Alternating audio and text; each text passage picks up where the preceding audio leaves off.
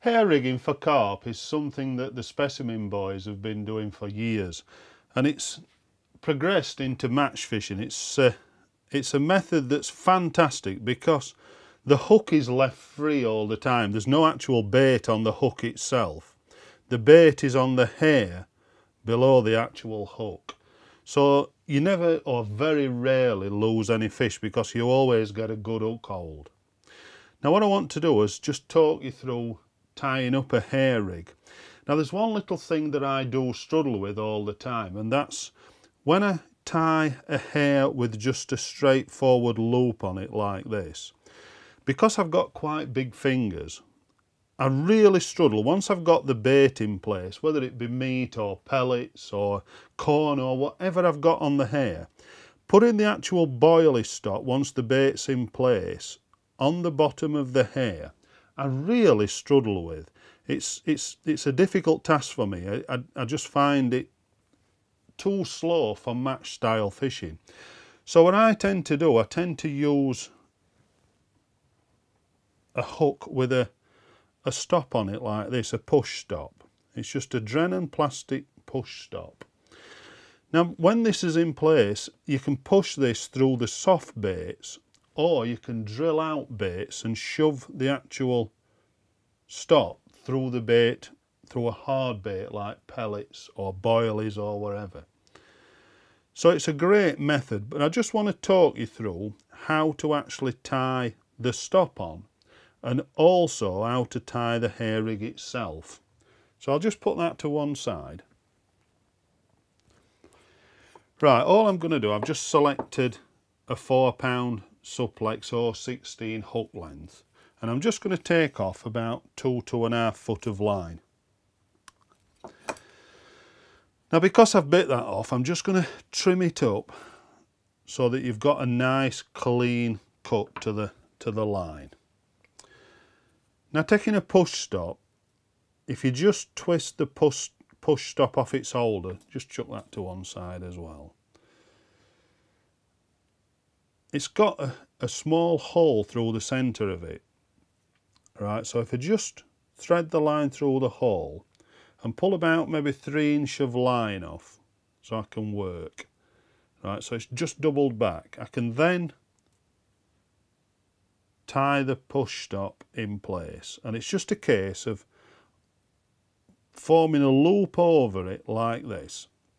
Now if you were to tie the knot tight up to the push stop, what had happened? The line would break. So I want this to be in a loop. So just using a Drennan needle, I can just push or pull the line down to the actual stop. Once I've removed the needle, I can pull that tight. Right, and what you can see now is that the actual push stop's just inside a small loop. It's not actually tied up to the stop, so it can move around. Now once I've got that in place, I can then trim the line off below it. Just throw that away. Right, so now I want to fish with a piece of rubber on the actual shank of the hook and I'm just going to trim off about maybe two and a half, three millimetres of rubber. Now this is quite important to put this in place because when the bait's on the hair, you want the hook in line with the bait itself. So all I've done, I've just pulled down a piece of rubber down almost to the stop. Now through the winter time I've been using power hair riggers, Drennan power hair riggers for, for carp fishing. They're fantastic hooks. I've not lost a fish off these hooks all winter. They're a strange shape, they're a round bend shape and they're slightly flattered.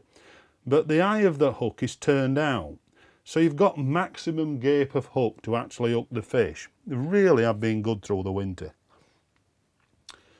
So taking the hook in hand now you've got a, a little bit of a difficult task is just to thread this rubber tubing onto the point of the hook. I probably should have done this off film and then I'd got one I could just pick up. really struggling to get that through. Come on, that's it, got it. So once that hook then is placed in the rubber, I just shove the rubber round and up the shank very slightly. So then I can decide then, you can buy ready tied rigs, but the distance here depends on what bait you're going to use. And of course, when you buy a ready-made rig, that distance is set, but you can set it to whatever bait you want to use. Now what I'm going to do, I'm just going to set this up for an 8mm pellet. So you think about an 8mm pellet and then a gap of about 4 or 5mm below. And that's where I'm going to tie this as a, a rig for pellets. Now going down the actual eye of the hook with the line, I can then pull all the line through. Right, and then to tie the actual knotless knot, you just start off. The first lap over is a little bit difficult to get behind the eye of the hook, but then I'm going to go around once, twice, three, four, five, six, seven, eight, nine, ten, eleven. 12 times down to the rubber. I can then, with the forefinger, hold the knot so I can pass the line back down, again, down through the eye.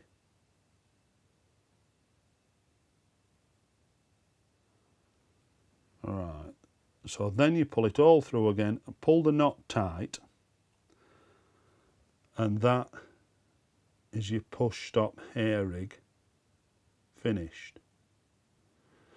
Now you can see the, the rubber below the actual knot is important because it always holds the line straight down to the push stop. So that's that's tied now. So it's a simple case. All I do then, I put a loop on the end of it and put it into my rig bin. To actually mount the baits, it's just a case then of using a push stop pusher just to put it inside the actual push stop and then you can shove it through any soft baits or any drilled holes that you've drilled in baits to put the bait in place. Fantastic way of fishing for carp, brilliant.